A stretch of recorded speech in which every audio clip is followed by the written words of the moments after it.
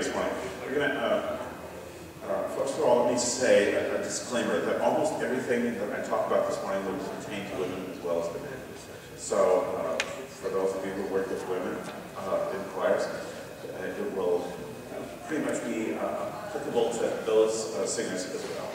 So I'd like you to fill in the blank. I'd like the men in the choir, it doesn't have to be a, a TTBB choir, but I'd like the men in the choir to sound, fill in the blank. I'd like them to sound beautiful. I'd like them to sound beautiful, absolutely. Yes, what else? I'd like them to sound rich. I like them to be rich, but I'd like them to sound rich as well. I'd like them to sound rich. What do you mean by rich? Um, deep, full, masculine. Okay. Okay. In what way?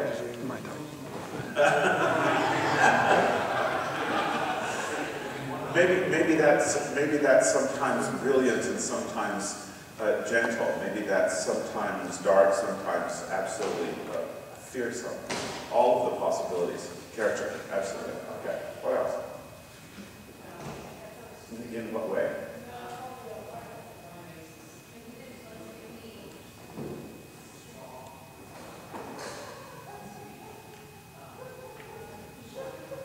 Okay. Okay, so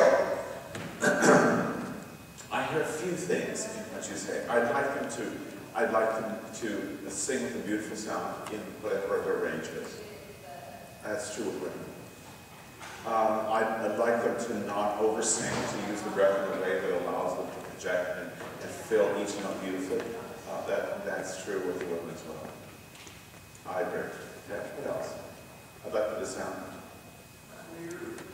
okay? uh, and, and that, and develop the, the value of that, uh, and Armstrong was, uh, way was fine. Some guys will get, because they drop everything, just with, and the, the signature. And still don't have that, how to forward place it. Okay.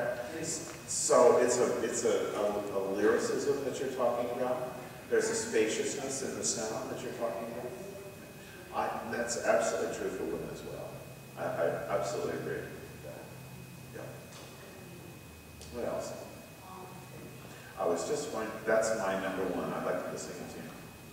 Um, Very promising song, finishes the time so. Yeah. I'd love for the baritones to be as flexible as the tenors. I'd love the tenors to be as, as flexible as I imagine that they need to be. But intonation is, is an issue for men, particularly because uh, uh, passaggio, depending on, on the, the keys that the piece is in, passaggio can be a real issue. What do we do if you're a bass? What do we do around B to C and from, from uh, D sharp to E and E to F running that neck of the woods where, where everybody feels, everything feels a little uh, unstable, and, and how do we manage that, particularly with young singers, but also older singers?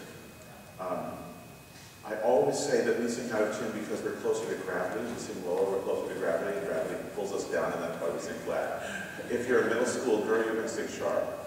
That's just that's just where we go. If you want to come up to the front, we had the women sitting up in front, and just so that they can uh, listen. Uh, but we all have issues. I mean, middle school will tend to sing a little sharper, they get a little excited, and and the fellows will just tend to sing a little underneath the pitch. what else? There have to be a few more things that you'd like to hear. Yes.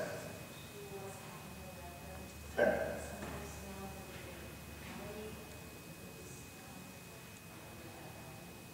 Uh-huh.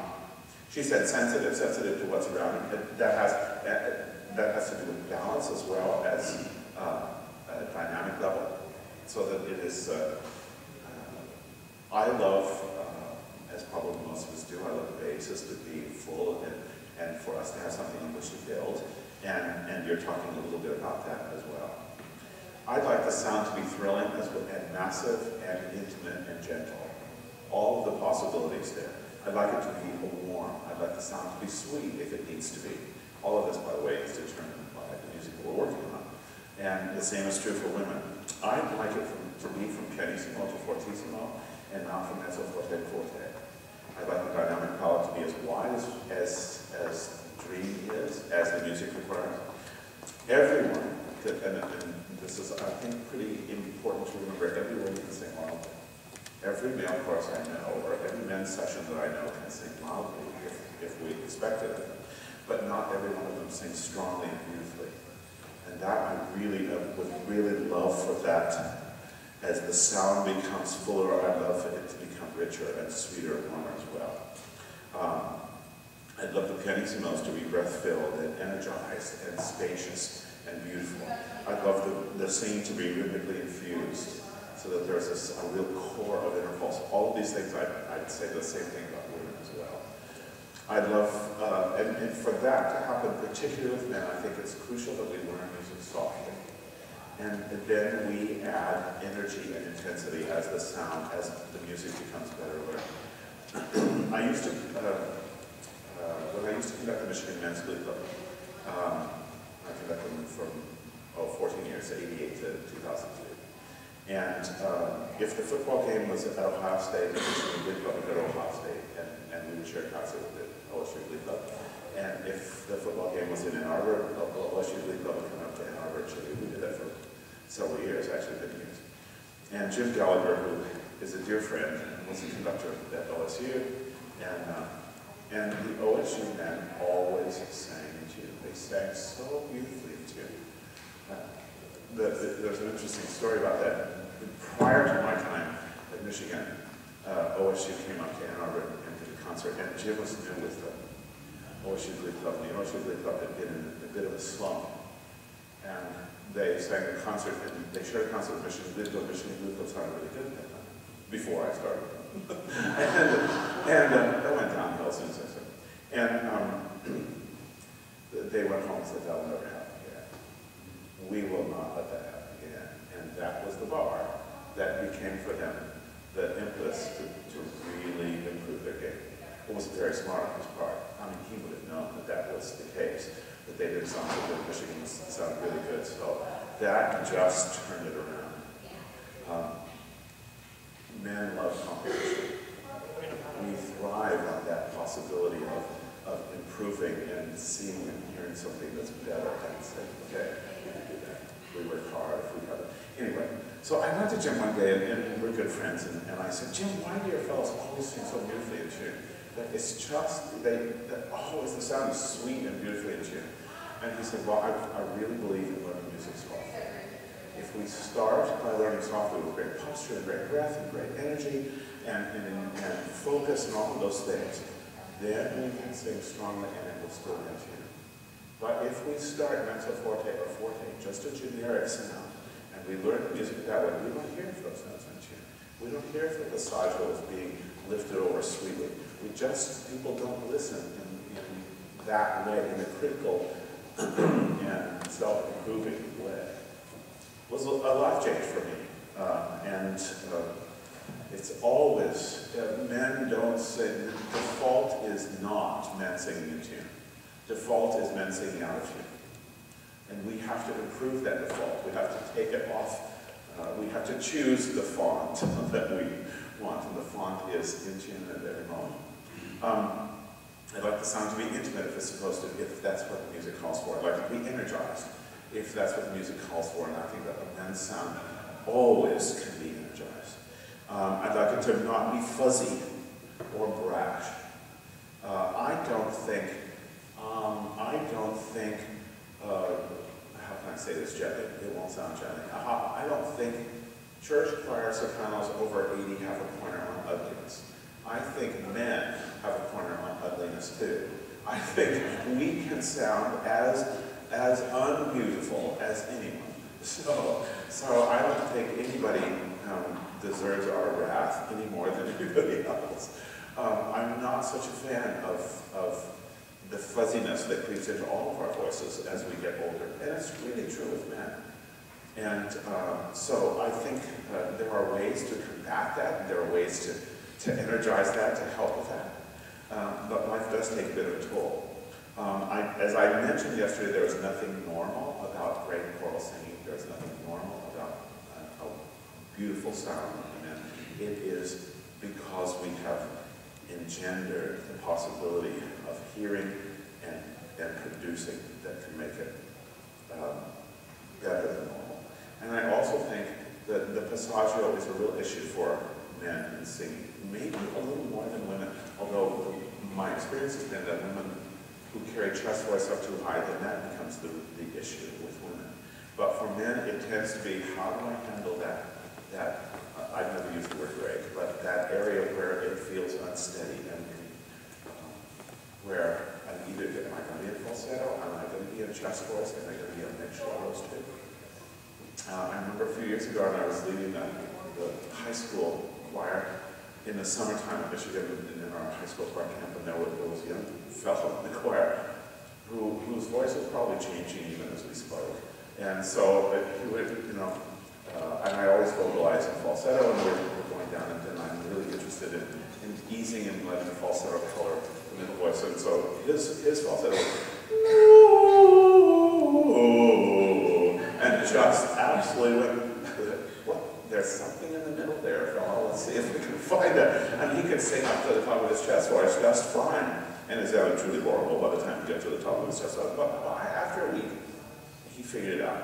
We had been able to mix those two.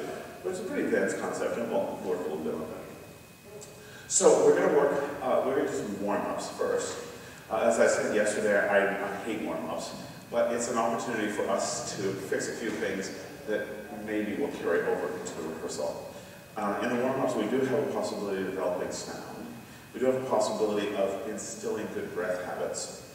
Uh, we do have the possibility of developing some articulation possibilities and some diction possibilities and vowel color possibilities that, that are different than the way we normally live. We do have the possibility for, to develop some reading skills, and, and you can, we can be creative uh, in the warm-up about how we might want to do that. We certainly can develop uh, energy and, and rehearsal focus. We certainly can develop in a warm-up a sense of, of how to follow a conductor, what the conductor is really saying gestually, and what the conductor imagines to be the beautiful, uh, what the conductor imagines to be beautiful. Let's just stop there. Because in that first few minutes of a rehearsal, we have to leave the real world behind, and we have to get into the world of beauty. The world of beauty is determined by the conductor. What does the conductor imagine in terms of sound and articulation and communication? And that's not the real world. We don't live in that world. We don't have that possibility the first time. and it's also a great opportunity for us to teach vocal technique uh, that, that, uh, that particularly if, if our people might not all take voice lessons. So, we do a little warm up. Some of these things we have, I've done with, others, the rehearsal the other night, some will be specifically uh, focused for men. I would, I would encourage you, uh, yeah, the video that I did for Santa Barbara Music several years ago has a lot of these sort of things on it, so if you're making notes of whatever say, I don't have a list, but yes, most of those are on that video, you can see that if you'd like. That's called Working with Male Voices. Uh, I'm sorry? Working with Male Voices, and it's on that bibliography that I passed out the other day, if you have a copy of that bibliography. And if not, I'm sure there's some extra copies of that floating around someplace, and published by Santa Barbara. There's also unlimited. Oh, well, good for them. It'll pay for my cup of coffee this morning, that's fantastic. Oh, maybe not double expensive. Doesn't, one doesn't make that. Okay, great, great, great. So um, I put the gentleman back here so that women, you can just hear what we're gonna do. And so gentlemen, would you stand up? Maybe you come in. Great, great. And baritones, where are you? Fantastic. Yeah, what, okay. And I wouldn't say that because there are always more baritones than anybody else, right? There are always more baritones. And basses, bass twos, bass two, good. Good, I almost love you the most. I almost love you the most.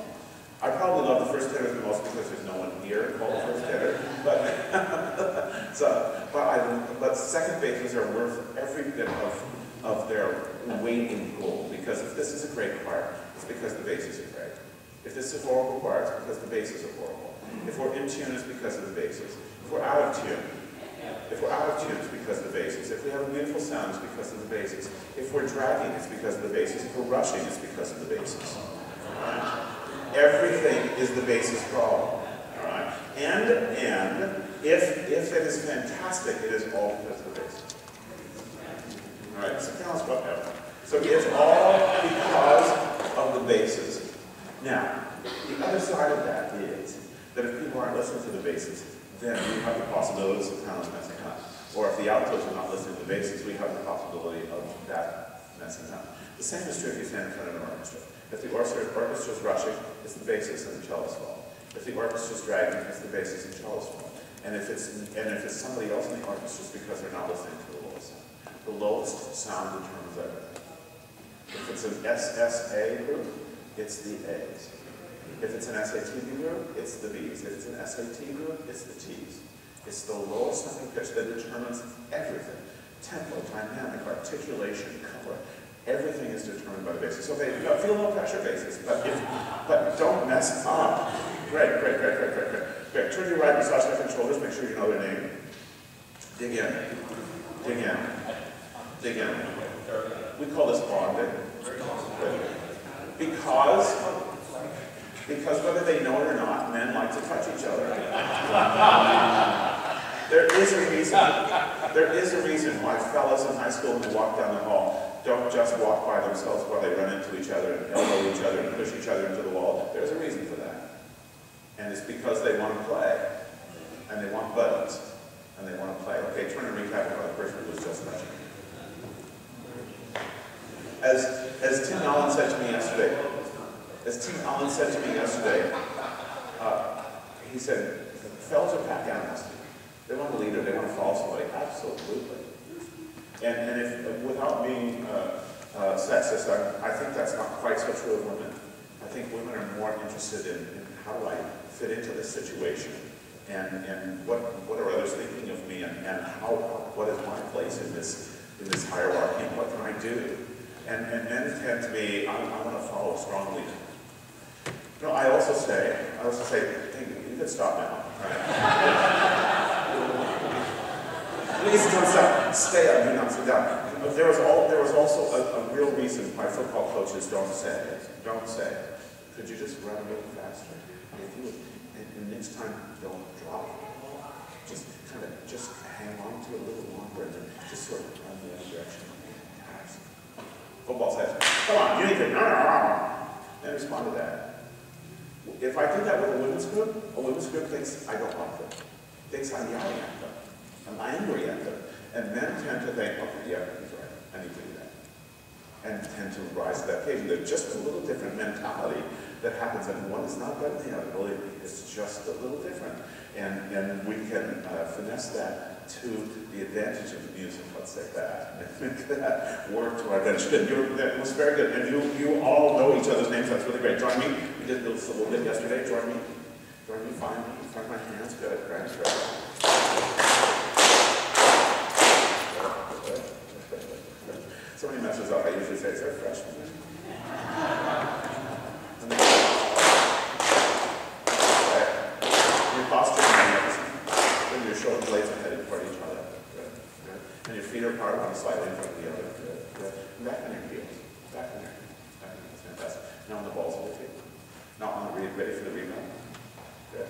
And, and lightly on your heels. And if I were working with a men's group, I'd say, ladies, would you imagine that you're wearing high heels? And suddenly, the imposter, the imposter can move about hundred percent. I don't say that to, to men too often, but some of the tenors would identify with that, so it's fantastic. I'm teasing tenors. You're so sensitive. They're sensitive about that. Good. Fill the room with this sound, which is the sound that I imagine, stay that I imagine for the piece that we're going to work on. This, this could be a very beautiful, with very beautiful, sweet pianist. Join me. Not join me here. This is the fault. Here's beautiful. Here's full of breath. Here's the fault. Here's full of breath. Here's the fault. Here's the possibility for religiousness. Good. Good. Excellent. Right. Right, shoulders all the way up. Right, back, down.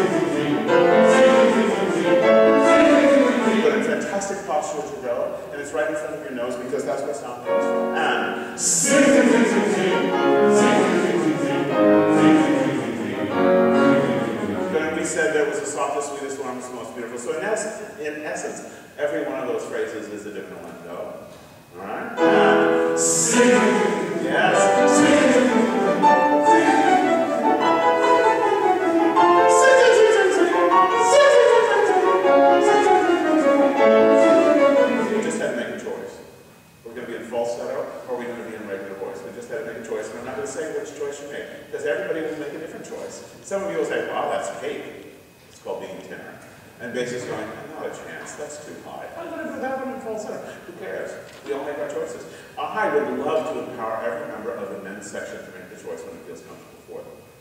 All right? I might say, would you sing that in falsetto? Would you sing the mixture made in chest voice? But I would also like them to say, for me, that note feels okay. And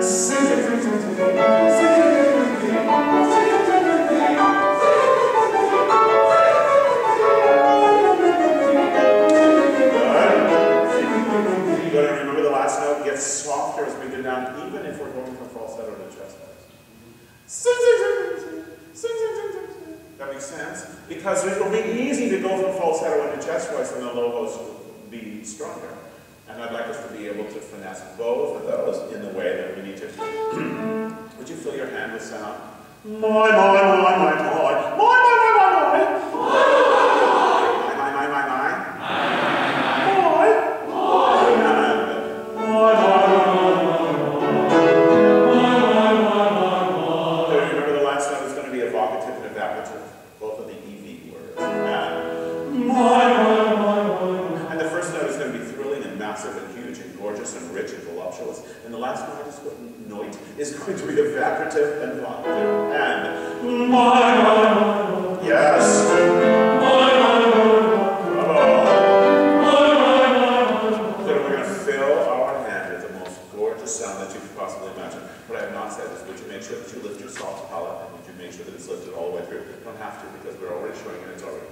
Does that make sense?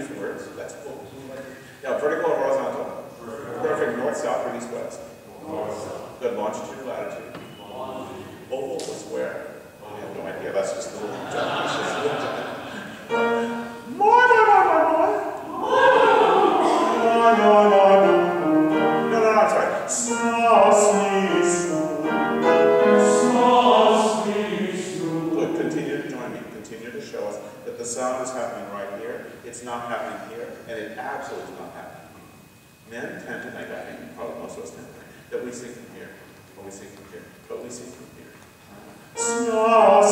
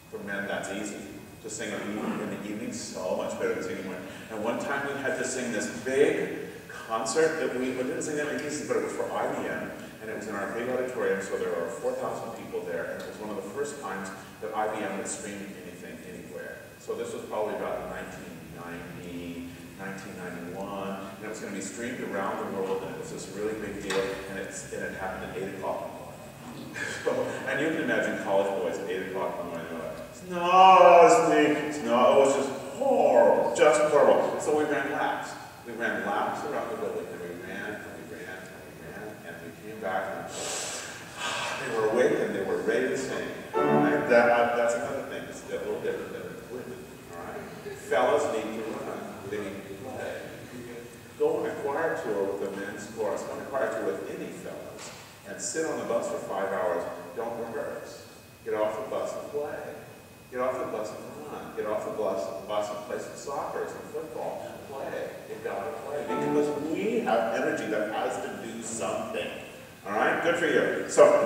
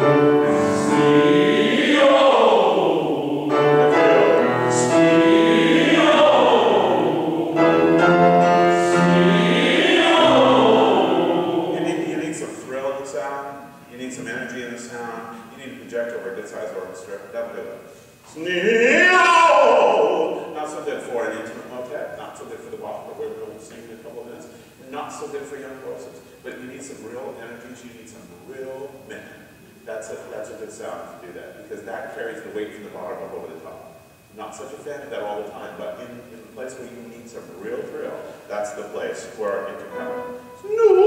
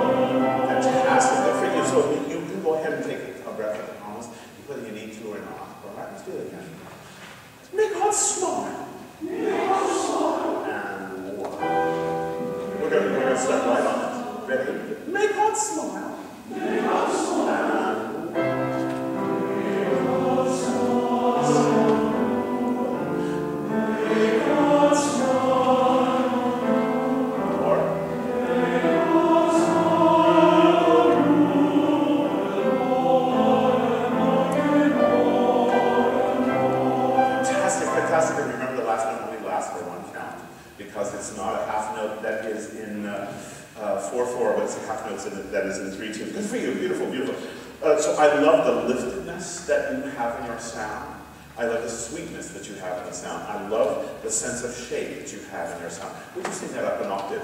May God smile two and three and one.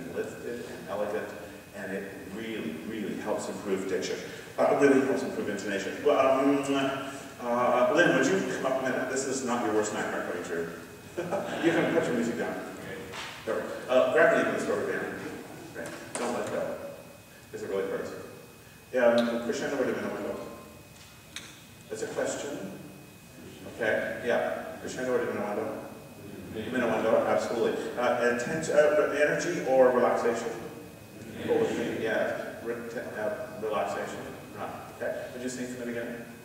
Two. This is right where we come in. Two. And, and everybody on the tenor line again. Two and three and one.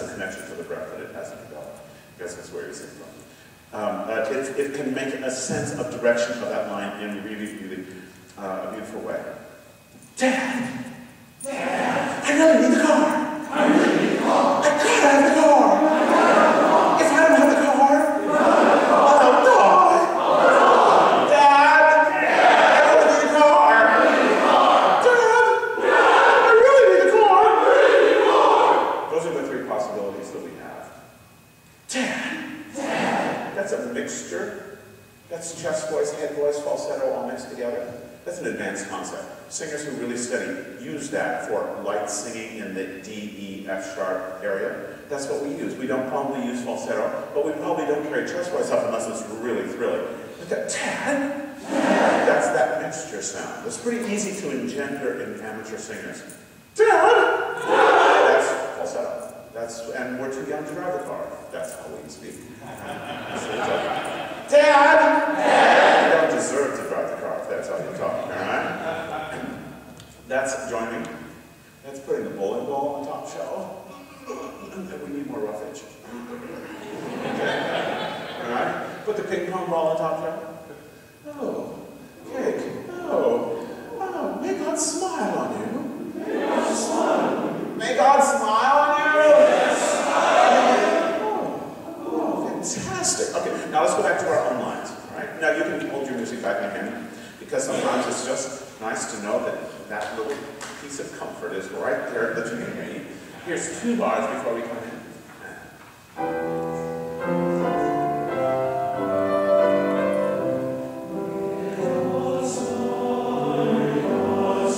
Fantastic, fantastic. So we still have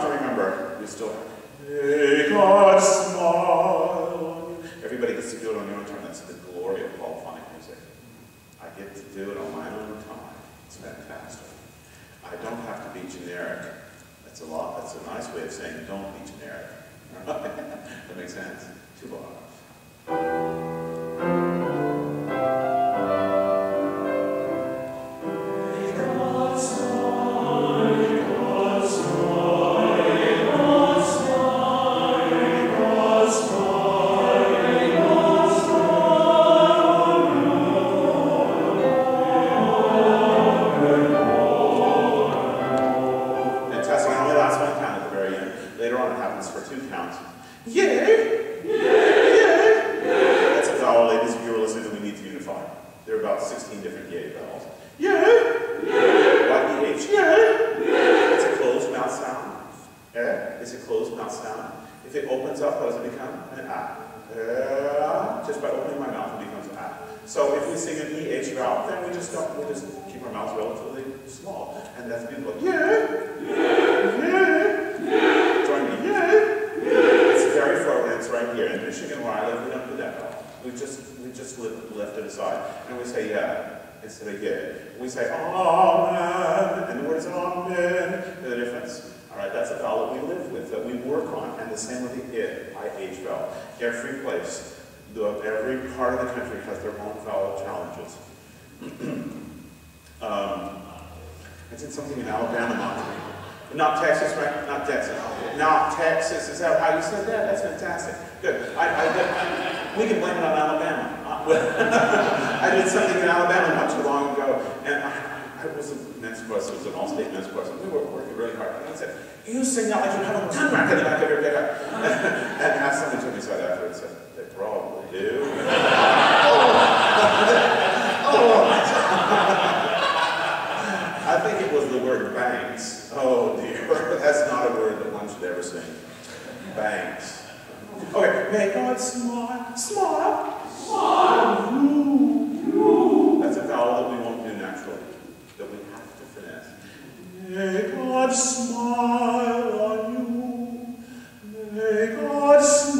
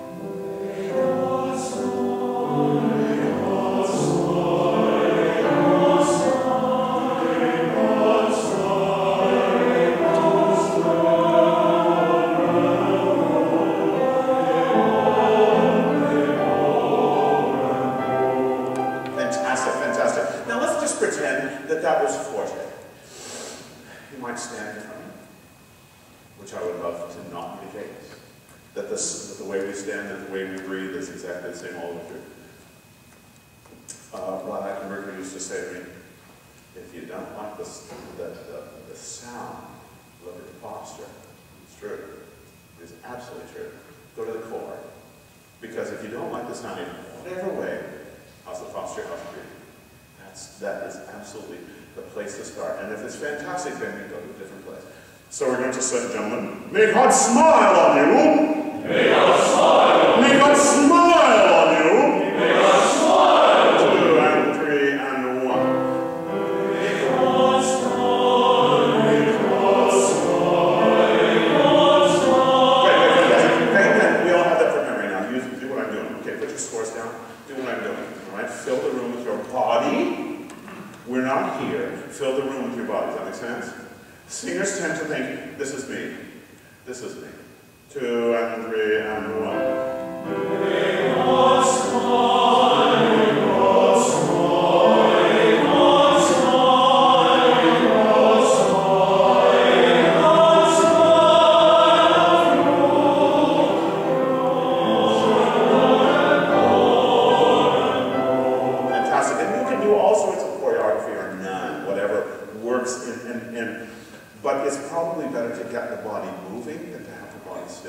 seat.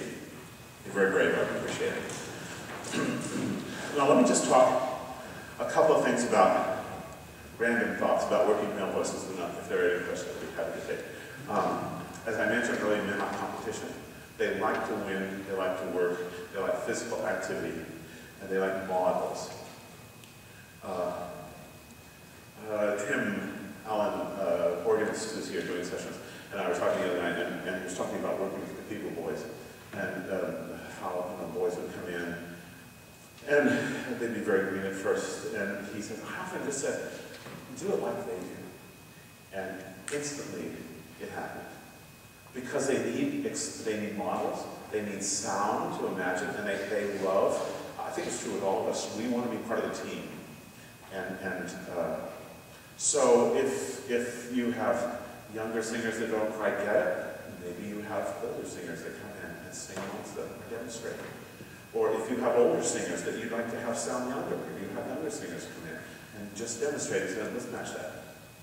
Um, young singers, uh, and it's true with any male singers, and it's true with women singers as well, will rise to the level of the expectations of the conductor. So, bring the bar. Bring the bar, raise the bar. That's what happened with the Glee Club in McKinley, Michigan. And Jim, in his very kind and, and elegant manner, would say that to me over and over. Almost every time we would get our groups together, he said, you know, the reason that we sound, that we are similar in, in excellence is because we came up to Michigan one time. And, and, and which is really great. Singers want camaraderie, camaraderie. Oh, Hill, dog. I'm a fud, wise as a can. Men, men want. They want brothers and they want buddies. And that tends to be, in addition to, particularly in church situation, situation where they want the opportunity to minister with gifts that, that they have been given. But they want to do it also with people that they feel comfortable with and that they can, uh, particularly in school or university, they can hang out with. That they, that they really want to, um, to make really great friends. Um, they want, men want a goal. They want something to point to. Um, this is a little tangential, but, uh, and I should have said it in the rehearsal thing. You can never, in, in conducting, you can never know what's going on in somebody's head they look on the inside. Never. It's absolutely true in conducting an orchestra. They can look the grumpiest that you could possibly imagine. It could just be the way they hold the violin. You know, they could have had a bad lunch. You know nothing about what's going on in head. I will never forget it. It's a lesson that I have, that I carry with me always. My very first year at Michigan, that uh, there was a, a young man who joined the Michigan Men's Glee Club, and he was a third-year law school student, very smart young man, sharp-looking fellow, uh, very smart. He hadn't been in the choir in his years at university, and he said, "I just want to do it my last year." He had a good voice, so uh, we uh, accepted him in the Glee Club, and and he wasn't paying the entire year. We, we did a four-week tour of Asia that year, which is not. It was fantastic. I loved every minute of it, except it was too many minutes of it. Four weeks is just too long. Uh, anyway, at that point, this was 1989, we, we wanted a burger by the end of the trip. Uh, at any rate, uh, he was the fellow who would say, I don't want to do the city tour. He would be the fellow that would show up late every morning. He would be the fellow that just would always take a little different path.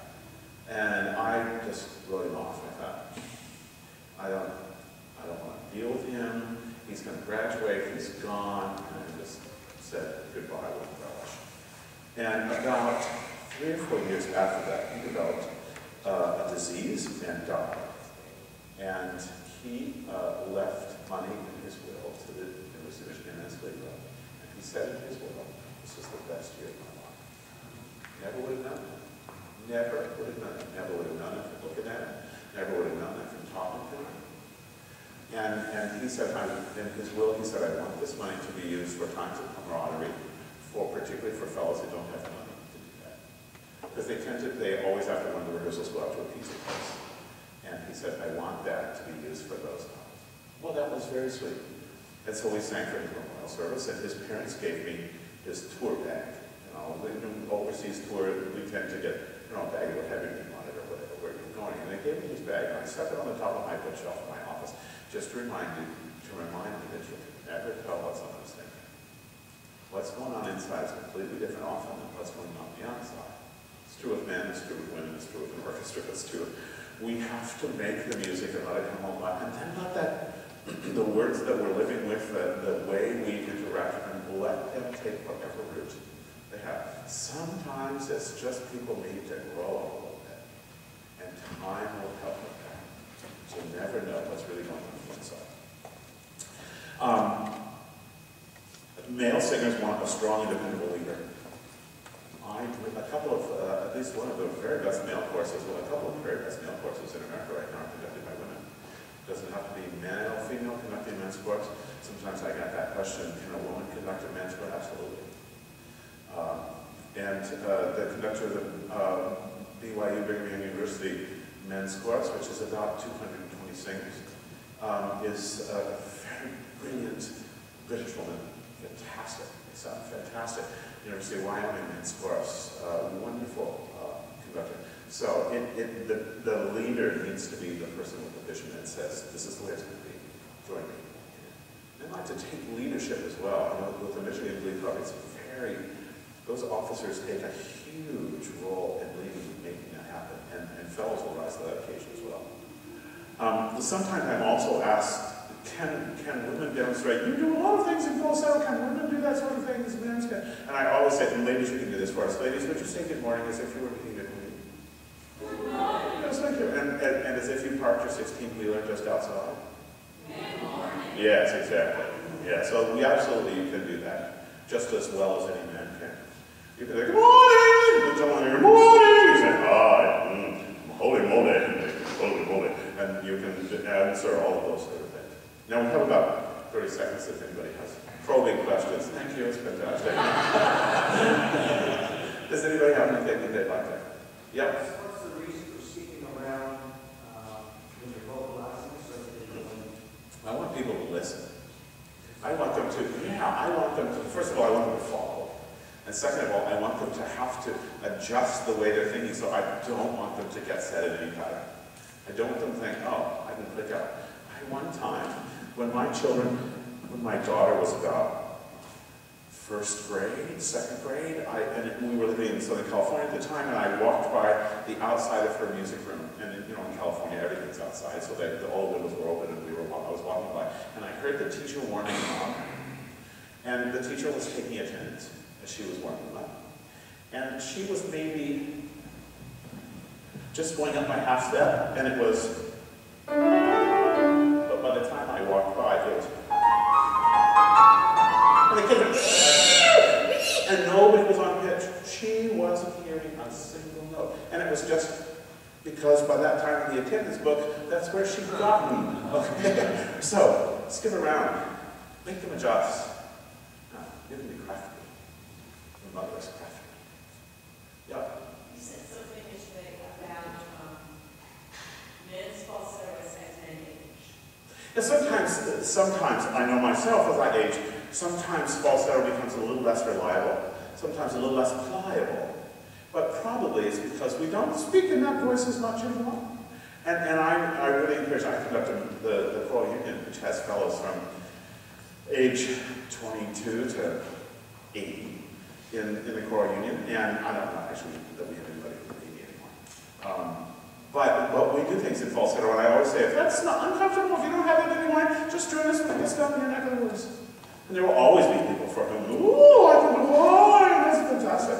Because it, that tends to rest the voice. It's true for women as well. I conducted the Berkshire Choral Festival last week, and um, I, um, there were several singers, a lot of singers, who were aging, uh, wonderful singers with such focus and, and how many years of experience in that choir? 120. Wow. Uh, but, but we did a lot in this voice, and most of them had not. And by the end of the week, people were saying, my voice feels stronger, it feels more reliable than it did at the beginning of the week. I, I often would, you know, after a week of singing like this, would be exhausted. My voice gets more notes than it had at the beginning of the week. It, it feels rested. Using falsetto tends to rest the voice because it's, it's singing in a different way. It's the best way I know of, of working in foreign language.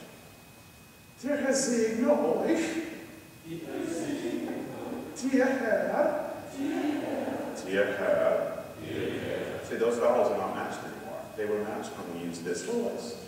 And that this voice is as close to singing as we can get without actually singing. I used to get so frustrated before I started doing this. Used to get so frustrated because we'd speak the text and it would get it would be exactly the way I wanted, and then we'd start singing it, and it was back to those other sounds that I didn't want. We'd speak it and we'd get it back. But those are two different voices. Speaking and the voice living in the land of speech, living in the land of music are two different worlds. So using this voice, we're already in the land of music. Don't know it. Any other questions?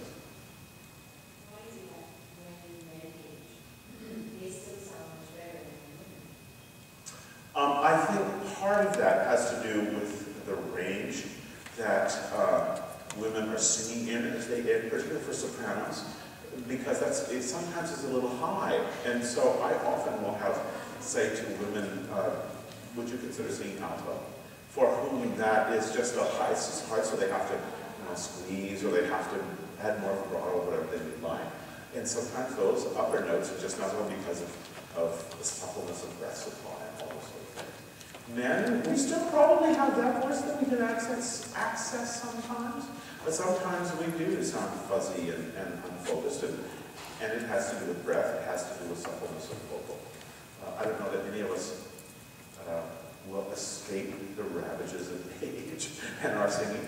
Um, you know, uh, I, I have a dream of Armin years, and uh, bucket list is pretty long, but one of the dreams that I have is to start a senior choir in our the choir for seniors. We don't have a good one now, we don't really have any at this point, and, and Ann Arbor has been listed as one of the best places in America to retire because there are so many things to do. I mean, you have the university, tons of free concerts and, and art exhibit, all this sort of thing, that's, and shopping and restaurants and so on, that, is really great for those who want to retire. So I'd like to start a senior choir. I was talking to Sandra Willits not too long ago. Sandra Willits used to be at the University of Alabama. And Sandra's a wonderful conductor. And Sandra moved to uh, the villages in Florida when she retired. If you live in the villages, you drive a golf cart and you play a lot of golf. You know, and cars are sort of not much used. And so I was doing something in Florida. I was talking a mile a minute like I usually do. And Sandra came up to me and heard this, way and she said, Jared, she said, I conduct a choir of seniors, and we have 140 people in my choir. She said, we rehearse on Tuesday mornings from 10 to 11.30. She said, Jerry, if I talk as fast as you do, they'd say, what bar are you on? She said, but my issues are not and rhythms. My issues were, my husband died yesterday, and I was diagnosed with cancer last week. And she said, that's why we sing. Well, that was really good really good uh, encouragement to me to look at the big picture and say, okay, we need to do one of those. We have one of those now. And partly it was because the, in the Choral Union that I conducted, there are just times when we have to say, we, we audition every two years, but sometimes we just have to say, there's not a place for you anymore, unless you're willing to sing out alto. Because competition and for to get in as a soprano or whatever is, is a little stronger. I'd love for a place, I'd love for there to be a place for them for those folks that might not fit into that ensemble anymore to have a, a wonderful opportunity to sit, keep singing. Because it's family. We sing because we want a family. We want friends. We want, we want to say something. Okay, now I know I've kept you over. I can another session about eight minutes or whatever. So, so thank you. Thank you for being brave, men.